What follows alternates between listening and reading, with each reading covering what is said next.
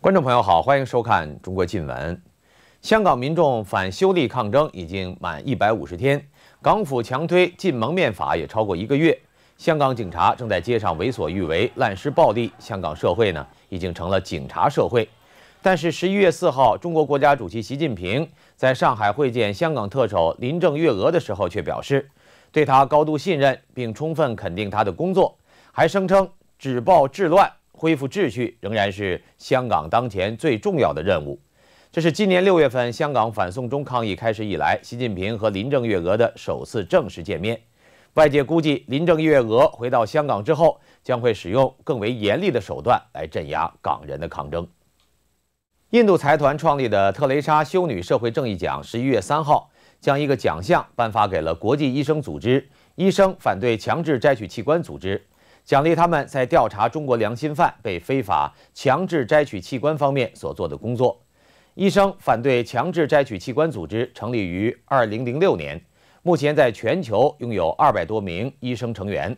他们针对中共强制摘取人体器官做了大量的调查，得出的结论是，中国已经成为器官移植的中心。而在中国被非法强制活摘器官的受害群体，主要是法轮功学员。特蕾莎修女社会正义奖专门奖励为人类做出卓越贡献的个人或者是团体。获得过这个奖项的人包括诺贝尔奖获得者凯拉西·萨塔亚提等人。国际人权组织自由之家十一月五号发表二零一九年度网络自由报告，中国再次被列为网络自由最糟糕的国家，排在古巴、叙利亚和伊朗之后。这是中国连续第四年被列为网络自由最差的国家。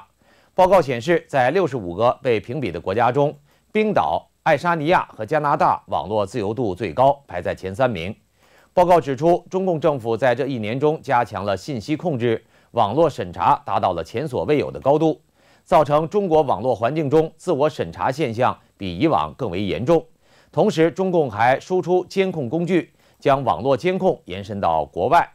报告还提到，中共和俄罗斯的黑客可能与针对民主国家选举的网络攻击有关。好，观众朋友，接下来让我们关注这一期的时事新闻。